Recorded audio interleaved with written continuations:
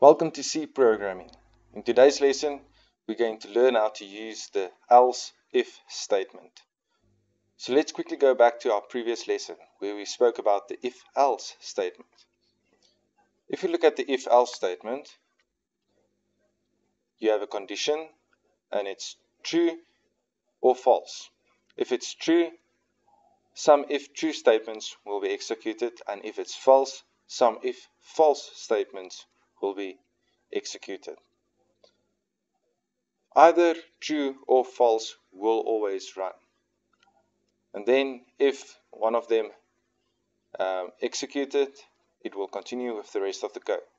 Now the else if statement is different from the if else and the if because it's nested if else statements.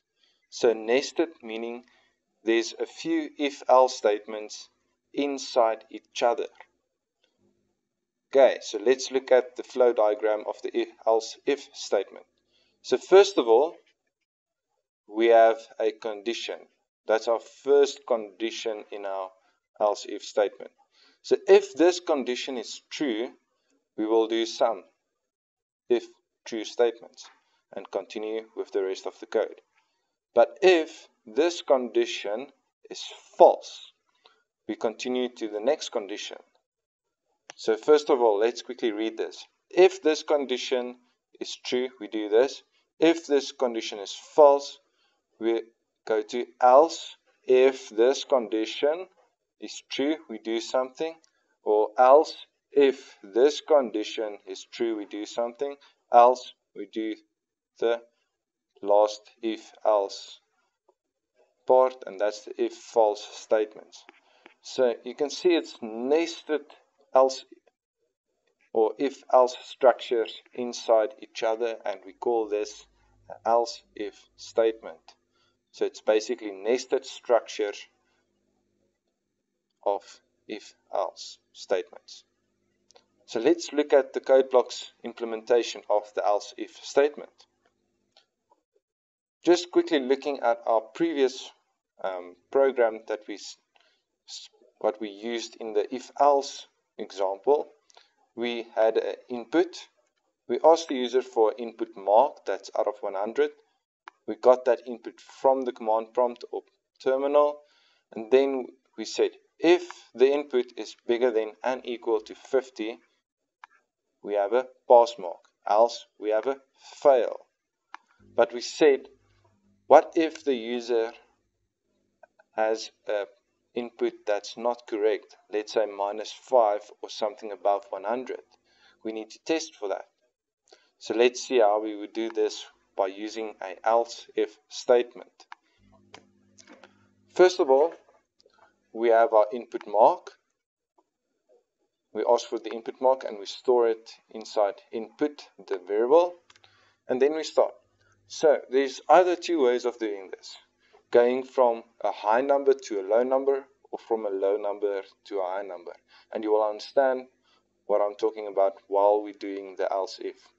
So let's say, for instance, we're going to work from a low number to a higher, to the high number.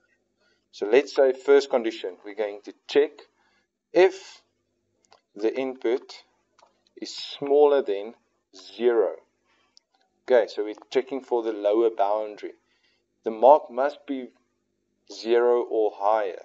So if the mark is below 0, we can safely assume that this is an incorrect input.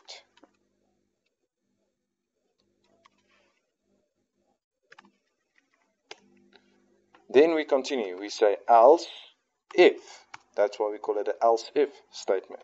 We say else if the input is smaller than 50. Smaller than 50.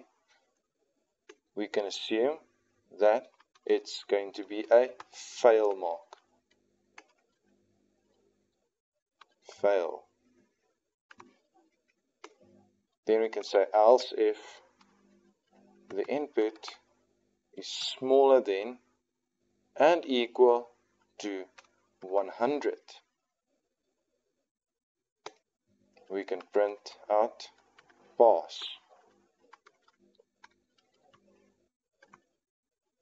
And then else, meaning it's not smaller than 0, it's not smaller than 50, it's not smaller than or equal to 100. It will then be definitely bigger than 100. We can then repeat this as incorrect input. Okay, so quickly note that only one of these statements, only one of these statements will be executed. Only one of these. Let's quickly, just to make sure, go back to the else if statement. The else if statement, if we look here, if we follow this path, if we go down to the condition and it's true, only this statement will go and we continue with the rest of the code. If it was false, we go to the next condition. True, only this one. So only one of these four statements will execute. And in our case, it's printf, printf, printf, and a printf. Only one of those printfs will execute. Okay, so smaller than 0, smaller than 50, smaller and equal to 100, and then above 100. That's why I said we're working from small to big, because we're looking at this boundaries from small, then we go bigger, bigger, and then above. So let's run this and see what happens.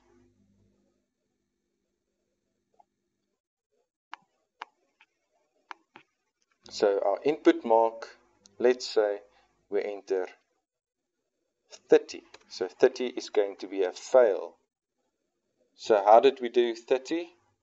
It was if input is smaller than 0. Is 30 smaller than 0? No. Then we go to the else if. Is 30 smaller than 50? Yes. We print fail. And then we continue with the rest of the code here. Okay, so let's quickly do a pass mark. Let's say 70. So it's a pass. So what happens if we say input is smaller than 0? So is 70 smaller than 0? No. Is 70 smaller than 50? No. Is 70 smaller or equal to 100? Yes. So we print out pass. So let's quickly check for our incorrect conditions. Let's say the user makes a mistake and enters minus 5. Incorrect input. So what happens is if input is smaller than 0, minus 5 is definitely smaller than 0, so we print out incorrect input. Incorrect input. Okay, let's do this for something bigger than 100. Let's say 110. Incorrect input. So what happens is 110 is not smaller than 0, we go to the else if. 110 is not smaller than 50. 110 is not smaller or equal to 100. So else we print out incorrect input, as you can see. So that, ladies and gentlemen, is the else if statement. You can use the else if statement in different variations, but this is just the core basic else if statement example. Thank you for watching, and I hope to see you soon.